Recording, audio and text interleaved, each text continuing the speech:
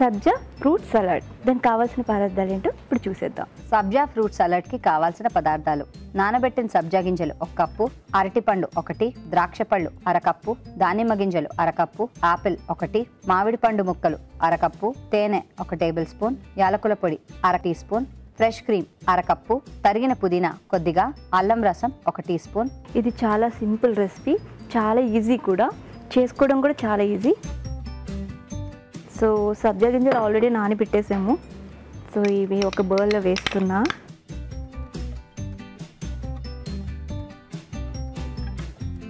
So already మీరు సమ్మర్లో తాగుతూ ఉంటారు. కానీ ఇది వేరేగా ఉంటుంది. అండ్ గ్రేప్స్ బ్లాక్ గ్రేప్స్ దానిమ్మ బనానా యాపిల్ మ్యాంగో సీజన్ కాబట్టి సో మ్యాంగో కూడా and honey.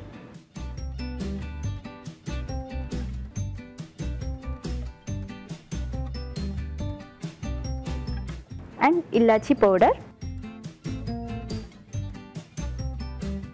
Cream. Wow.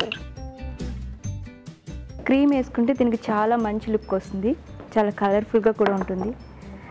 And uh, అల్లం రసం కొంచెం ఎక్కువ వేయకూడదు అండ్ పుదీనా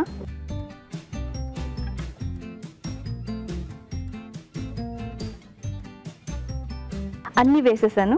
సో ఇప్పుడు వీటిని బాగా మిక్స్ చేసుకోవాలి. Okay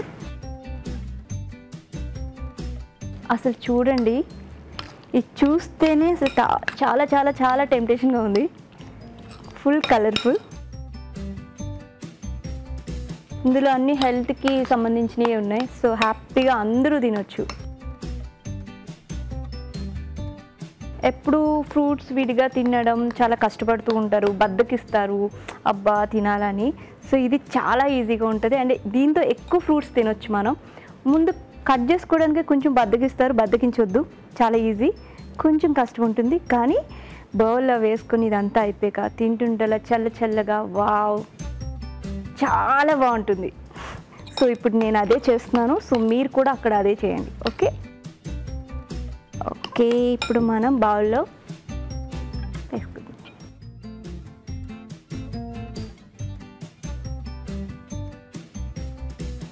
wow! చూసారా? ఎంత బాగుందో. కనిపిస్తుంది కదా? దీని ప్రాసెస్ మరోసారి చూసేద్దాం. సబ్జా ఫ్రూట్ సలాడ్ తయారీ విధానం. ఒక బౌల్లో నానబెట్టుకున్న సబ్జా గింజలు ద్రాక్ష పండు దానిమ్మ గింజలు అరటిపండు ముక్కలు ఆపిల్ ముక్కలు మామిడి పండు ముక్కలు తేనె యాలకుల పొడి ఫ్రెష్ క్రీమ్ అల్లం రసం తరిగిన పుదీనా వేసి బాగా కలుపుకోవాలి. అంతే సబ్జా ఫ్రూట్ సలాడ్ రెడీ.